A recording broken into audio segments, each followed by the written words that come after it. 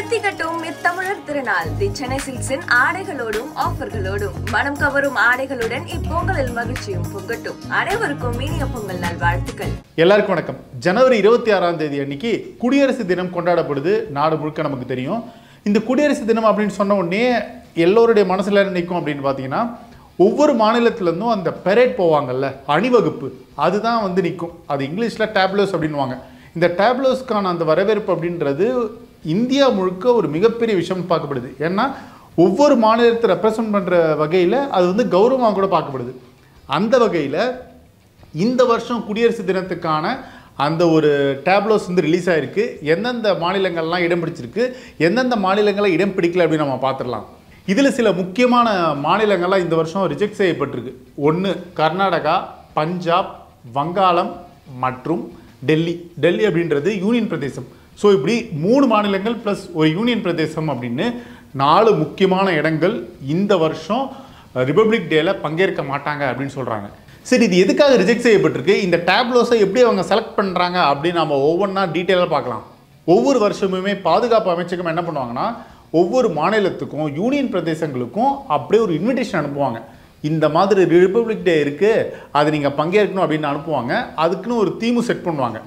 அந்த வகையில் short list பண்ணி அந்த மாநிலங்களை செலக்ட் பண்ணுவாங்க. ஸோ எந்தெந்த மாநிலங்களாக விருப்பப்படுறாங்களோ அவங்கெல்லாம் ஒரு மாநிலம் ரெடி பண்ணி ஒரு ப்ளூ பிரிண்ட்டை அவங்களுக்கு சப்மிட் பண்ணணும் அதை அவங்க ரிவ்யூ பண்ணிட்டு அதுக்கப்புறமா அடுத்த கட்ட ப்ராசஸ்க்கு போவாங்க. அப்படி பார்த்தீங்கன்னா இந்த ரிபப்ளிக் ரெண்டாயிரத்தி இருபத்தி நாலில் ரெண்டு முக்கியமான தீம் அவங்க வச்சுருக்காங்க. அது என்னன்னு பார்த்துடலாம் அதில் ஒன்று விக்சித் பாரத் அப்படின்னா வளர்ந்த இந்தியா. இதில் ரெண்டாவதாக வருது பாரத் லோக்ரந்தா கி மாத்ருகா. அப்படி பார்த்தீங்கன்னா இந்தியா ஜனநாயகத்தின் தாய் அப்படின்றாங்க. ஸோ இப்படி ரெண்டு முக்கியமான தீம்ஸை இந்த வருஷம் வச்சுருக்காங்க. சரி இந்த டேப்லோஸ்க்கான பெரேடை யார் செலக்ட் பண்ணுறா அப்படின்ற ஒரு கேள்வி இருக்குது அது சிம்பிளான விஷயம். ஒரு தேசிய விருது அறிவிக்கிறாங்கன்னா அது யார் செலக்ட் பண்ணுவாங்க? அதுக்கான ஒரு குழு இருக்கும்ல. அந்த குழு எப்படி இருக்கும்னா பல துறைகள்லேருந்து வந்திருப்பாங்க. அவங்க தான் செலக்ட் பண்ணுவாங்க. அதே மாதிரி தான் இந்த பெரேட்லையும் பல துறைகள்லேருந்து ஒரு குழுவாக கூடி அவங்க செலக்ட் பண்ணுவாங்க. உதாரணத்துக்கு அது வந்து ஆர்ட்டாக இருக்கலாம் இல்லை சிற்பக்கலையாக இருக்கலாம் இல்லை பெயிண்டிங் மருத்துவம் இப்படி பல துறைகள்லேருந்து வந்து அவங்க செலக்ட் பண்ணுவாங்க. ஸோ அந்த பெரேடுக்கான தீமை அறிவிச்சிட்டாங்கல்ல அந்த தீமை பேஸ் பண்ணி அந்த ஃபஸ்ட் ரவுண்டை என்ன பண்ணுவாங்கன்னா இந்த க்ரூ வந்து அதை ரிவ்யூ பண்ணுவாங்க. இந்த தீமுக்கு ஏற்ற மாதிரி இந்த ப்ளூ பிரிண்ட் கரெக்டாக இருக்கா விஷுவல் இம்பேக்டாக இருக்கா? அப்படின்னு கரெக்டாக செக் பண்ணுவாங்க. இதோடைய முதல் படியில் அந்த க்ரூ மெம்பர்ஸ் என்ன பண்ணுவாங்கன்னா ஸ்கெட்சும் டிசைனும் அப்படியே ரிவ்யூ பண்ணுவாங்க. இதில் ஏதாவது மாற்று கருத்து இருந்தாலோ மாற்றணும் அப்படின்னு நினச்சாலும் அவங்க என்ன பண்ணுவாங்க? அப்படியே அந்த ரெப்ரசன்டேட்டிவ்ஸ் கிட்ட சொல்லிடுவாங்க. மாநிலத்தை யார் ரெப்ரசன்ட் பண்ணுவாங்களோ அந்த டீம் கிட்டே அவங்க சொல்லிடுவாங்க. இதில் ஏதாவது ஒரு மாற்றலாம் அப்படின்ற மாதிரி அவங்க சொல்லுவாங்க. தேவைப்பட்டால் தேவைப்பட்டா. அதில் ஏதாவது கருத்து வேறுபாடு இருந்தால் அதை பேசி தீர்த்துப்பாங்க. அப்படி இல்லைன்னா முதல் ரவுண்ட்லேயே அது ரிஜெக்ட் செய்யப்படும். சரி முதல் ஸ்டேஜ் அப்ரூவ் ஆனதுக்கப்புறமா ரெண்டாவது ஸ்டேஜ் ஃபேப்ரிகேஷனுக்கு அனுப்பப்படும். இந்த செலெக்ஷன் எப்படி பண்ணுறாங்க அப்படின்னு பார்க்கும்போது இதில் நிறைய க்ரைட்டீரியா இருக்குது ஒரு தீம் வச்சுருக்காங்கல்ல உதாரணத்துக்கு டெவலப்டு இந்தியா அப்படின்ற ஒரு தீம் சொல்கிறாங்க இந்த தீம் பேஸ் பண்ணி அந்த மாநிலங்களுடைய ரெப்ரசன்டேட்டிவ் கரெக்டாக பண்ணியிருக்காங்களா அப்படின்னு பார்ப்பாங்க. அது தீம் பேஸ்டாக இருக்கா? கான்செப்ட் பேஸாக இருக்கா? எந்த ஒரு கான்ட்ரவர்சி இல்லாமல் இருக்கா? அப்படின்லாம் செக் பண்ணுவாங்க. இது எல்லாத்த விட உள்நாட்டு கலைஞர்கள் லோக்கல் ஆர்டிஸ்ட் அவங்க யூஸ் பண்ணியிருக்காங்களா அப்படின்னு பார்ப்பாங்க. இந்த மாதிரி க்ரைட்டீரியா வச்சு அவங்க செலக்ட் பண்ணுறாங்க ஸோ இந்த ப்ராசஸ் ஆறுலேருந்து ஏழு ரவுண்ட்ஸாக நடக்கும். பல நாட்கள் நடக்கும். அதுக்கப்புறமா ஷார்ட் லிஸ்ட் பண்ணி கரெக்டான ஒரு லிஸ்ட்டை கொடுத்துருவாங்க. சரி இந்த டேப்லோஸில் என்னெல்லாம் இருக்கும் அப்படின்னு பார்த்தீங்கன்னா நம்ம ஏற்கனவே பார்த்தது தான் பல டேப்லோஸாக நம்ம பல வருஷங்களாக சின்ன வயசுலேருந்தே பார்த்துட்ருக்கோம் இதில் வந்து பாதுகாப்பு அமைச்சகம் தான் பொறுப்பேற்றிருக்காங்க அவங்க அந்த கிரைட்டீரியெலாம் சொன்னதுக்கப்புறமா சில முக்கியமான விஷயங்கள்லாம் சொல்லுவாங்க. எந்த மாதிரி விஷயங்கள்லாம் இருக்கலாம் அப்படின்னு. உதாரணத்துக்கு அதில் பெயிண்டிங்கை யூஸ் பண்ணலாம். இல்லை சிற்பக்கலை அந்த மாதிரி கூட யூஸ் பண்ணலாம். இது இல்லாமல் இப்போது வளர்ந்துட்டு வர டிஜிட்டலைஸ் அப்படின்ற ஒரு விஷயம் இருக்குல்ல அதை பேஸ் பண்ணி கூட அவங்க கான்செப்டை வைக்கிறாங்க. உதாரணத்துக்கு robotics mechatronics three D printing virtual ரியாலிட்டின்னு அப்படியே போயிட்டே இருக்குது இந்த மாதிரி விஷயங்கள்லாம் விஷுவலாக இம்பேக்டாக இருக்குது ஸோ ஆடியன்ஸ் வராங்கல்ல அவங்களுக்கு விஷுவலாக அப்படியே ட்ரீட்டாக இருக்கணும். அந்த வகையில் இந்த மாதிரி விஷயங்கள்லாம் யூஸ் பண்ணுவாங்க. இந்த டேப்லோஸில் ஒரு முக்கியமான அங்கம் இருக்குது அது என்னன்னு பார்த்தீங்கன்னா யூனிக்னஸ் தனித்துவம். உதாரணத்துக்கு தமிழ்நாடு கேரளாவும் இந்த பெரேடில் பங்கேற்கிறாங்கன்னு வச்சுக்கோங்க. கான்செப்ட் என்னவோ ஒரே கான்செப்ட் தான். ஆனால் டிசைன் அப்படின்றது டோட்டலாகவே வித்தியாசமாக இருக்கணும். ஆக்சுவலாக பார்த்தீங்கன்னா ஃபாண்ட் சைஸ்லேருந்து லோகோலேருந்து எல்லாமே வித்தியாசப்படுத்தணும். அப்படி இருந்தால் மட்டுமே அவங்க வந்து அதை அப்ரூவ் பண்ணுவாங்க. இதில் இன்னொரு முக்கியமான விஷயம் இருக்குது அந்த வாகனத்தை நீங்கள் நல்லா கவனிச்சிங்கன்னா முன்பக்கத்தில் ஹிந்தி இருக்கணும்.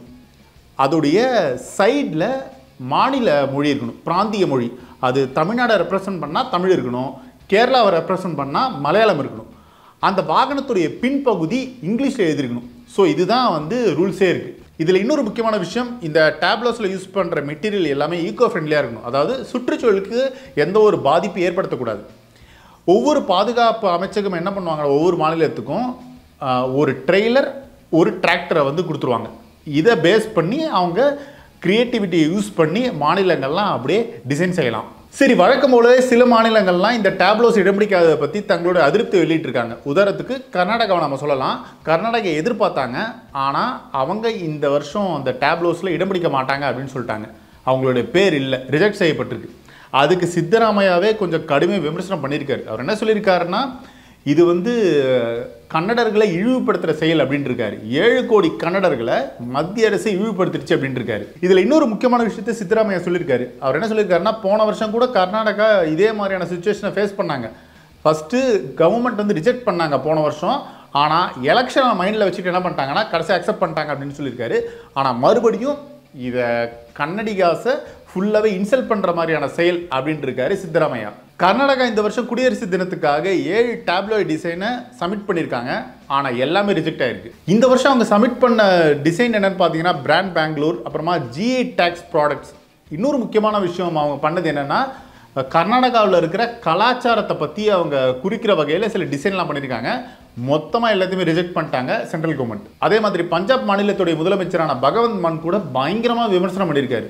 அவர் என்ன சொல்லியிருக்காருன்னா ஆம் ஆத்மி ஆள்ற மாநிலங்களை டோட்டலாகவே ரிஜெக்ட் பண்ணுறாங்க சென்ட்ரல் கவர்மெண்ட் அப்படின்னு போட்டு உடச்சிட்டாரு.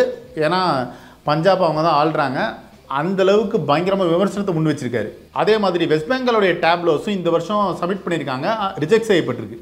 அவங்களுடைய டிசைன் ரெண்டு இருக்குது ஒன்று கன்னியாஸ்ரீ ஸ்கீமும் கன்னியாஸ்ரீ யூனிவர்சிட்டி பற்றி பேசியிருக்காங்க. இன்னொன்று வங்காளத்துடைய பிரபலமான ட்ரெடிஷ்னல் டான்ஸ் அண்ட் கல்ச்சர் பற்றி பேசியிருக்காங்க. ஆனால் எல்லாமே ரிஜெக்ட் செய்யப்பட்டிருக்கு.